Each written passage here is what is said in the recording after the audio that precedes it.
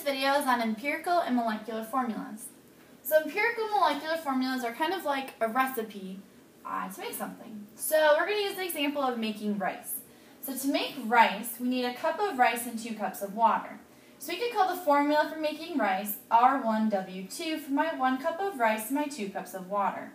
If I want to double my recipe for rice, let's say I want to make it for more than just me, for me and a friend, I would double my batch of rice, and to do that, I would instead of one cup of rice need two cups of rice, and instead of two cups of water, I need four cups of water.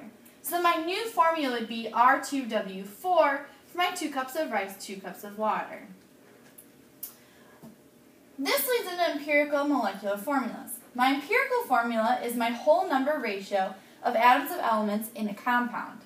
This cannot be reducing, or I cannot reduce my subscripts on this. So this is like my normal rice recipe of one cup of rice, two cups of water, R1W2. A molecular formula is going to be the simplest, or the simple whole number multiple of an empirical formula, where my subscripts can be reduced. So I double my batch of rice to give me two cups of rice, four cups of water, so I have a formula of R2W4. This would be considered my molecular formula for my rice, whereas my R1W2 can be considered my empirical formula for my rice. So something we need to be able to do is to determine if a formula given to us is in its empirical state or molecular state. So let's go through a couple examples. Here I have C2H4. Now my subscripts 2 and 4 can each be reduced by 2, causing this to be a molecular formula and my empirical formula would have been CH2. Carbon monoxide, CO, that has two subscripts of 1 that we don't write. So here it would be an empirical formula. My next example, C11H12O22, starts off looking like it could be molecular, but in fact it's empirical because 11, 12, and 22 do not have any common denominators. So therefore, this stays as it is. It is again empirical. Same thing here with my C2H4O1. Now, anytime there's one element with an imaginary 1 for a subscript, that's going to be empirical because it cannot be reduced any more than it is. So again, here is empirical. And then finally, I have hydrogen peroxide, H2O2. Here, both my subscripts are 2, meaning they can both be reduced by 2, Therefore, this is molecular, and it's going to be HO. Now, a little test to make sure that you're listening to the videos here. I have a shout out to my sisters, Casey and Corinne, who watch these regularly. But instead, if you're listening, I'd like you to draw a nice star at the top of your page, showing that you both listened to this video and watched it completely.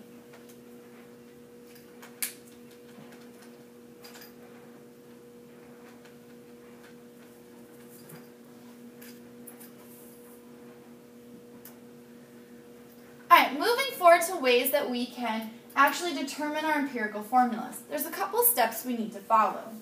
First, we need to take the percents and pretend it's out of 100 grams, if we're told percents of each compound in our formula. Then we're going to convert our grams of our each one of our elements to moles via the molar mass. Next, step 3, we need whole number ratios, so we'll divide each number by the smallest number.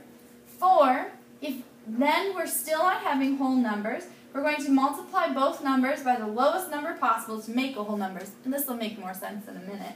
And then five, we can check our work by finding the percent composition of each. So let's step, walk through our example number one, where we find our empirical formula of a compound that is 25.9% nitrogen and 74.1% oxygen.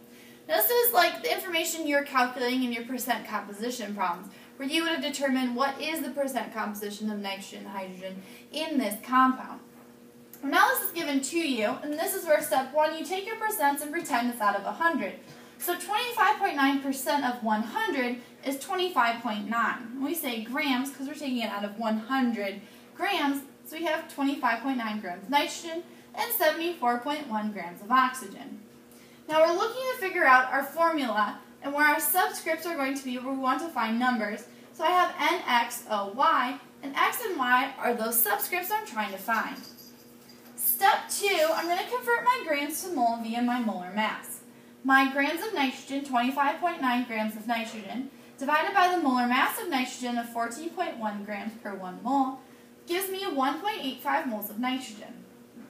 Same thing for oxygen, 74.1 grams of oxygen divided by its molar mass of 16.00 grams oxygen per 1 mole gives me 4.63 moles of oxygen.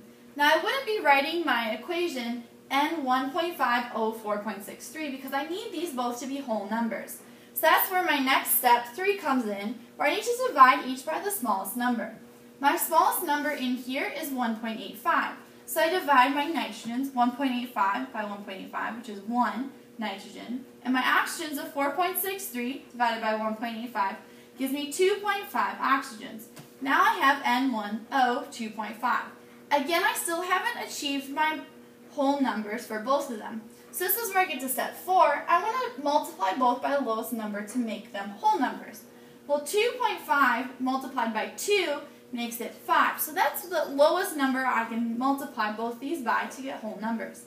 So 1 nitrogen times 2 gives me 2 nitrogens, and 2.5 oxygens times 2 gives me 5 oxygens. So my empirical formula is N2O5. I can check this by saying, well, what's my percent nitrogen? Well, 28 is my mass of nitrogen in a 108.2 grams, gives me 25.9% nitrogen. Same thing for oxygen. My 80 grams of oxygen, which is 16 times 5, divided by 108.02, gives me 74.1% oxygen.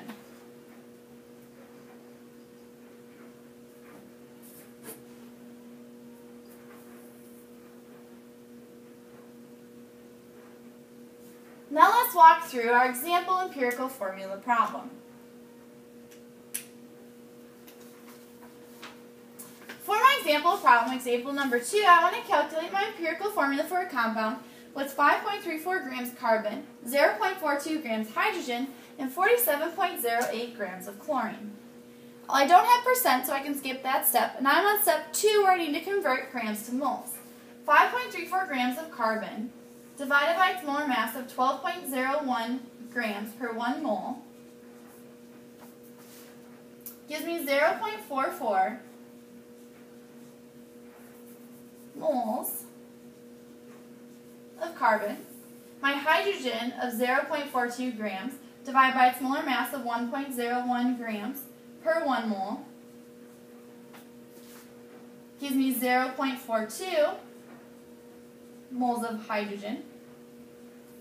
And then for my chlorine, my 47.08 grams of chlorine divided by its molar mass of 35.45 grams per 1 mole gives me moles of 1.33 moles of chlorine. Now, none of these are whole numbers, so I need to divide by the lowest number given to me. So I'm going to divide all by 0.42.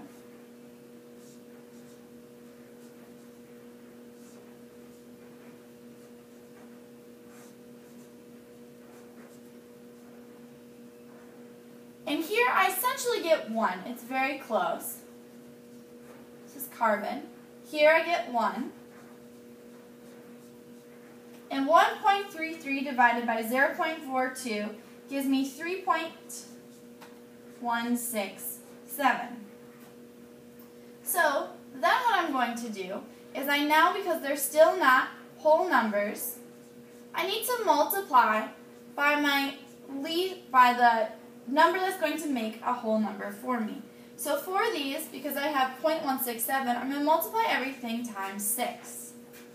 Because that's going to turn 3.167 into 19. 1 times 6 is 6, and again times 6.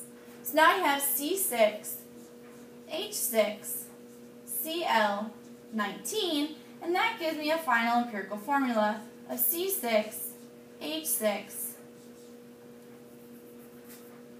Cl, 19.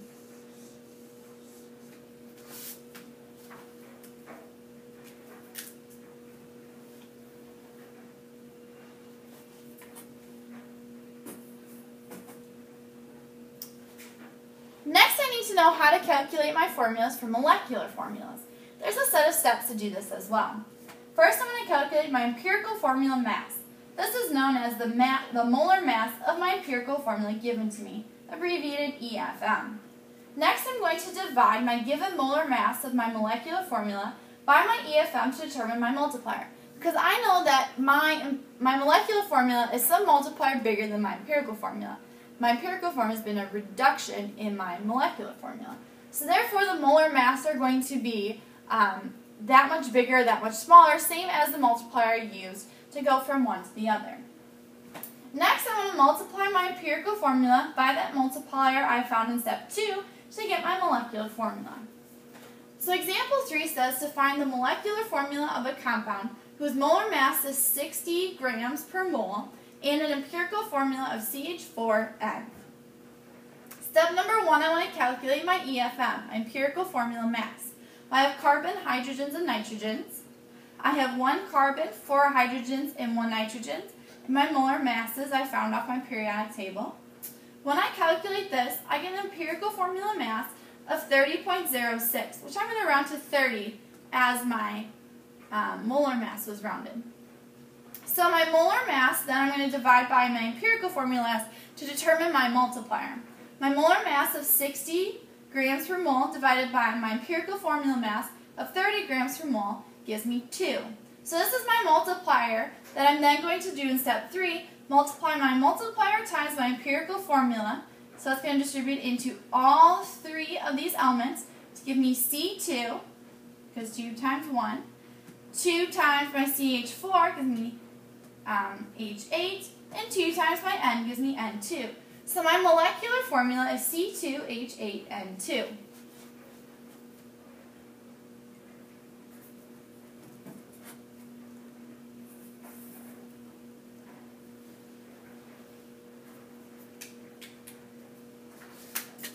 Let's walk through one more example problem together.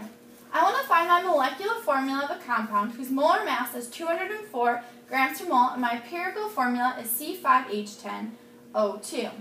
So first I need to figure out my empirical formula mass. I have carbon, hydrogen, and oxygen. Carbon is 12.01 times the 5 that I have. Hydrogen is 1.01 times the 10 that I have. And oxygen is 16.00 times the 2 that I have. 12.01 times 5 is 60.05.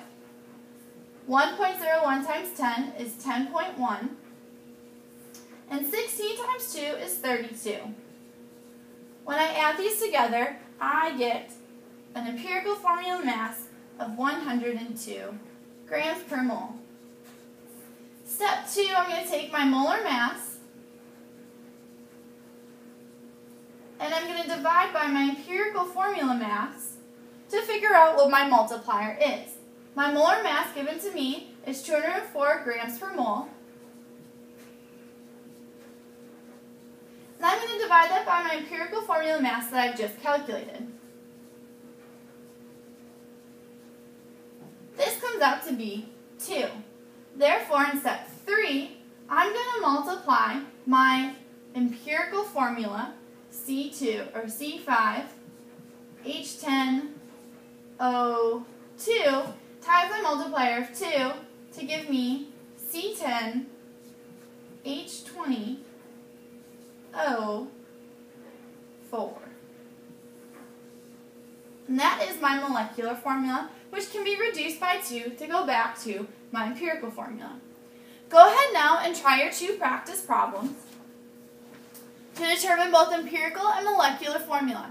For the second one of finding your molecular formula, you'll first have to calculate empirical formula and then molecular formula. Your answers are listed here.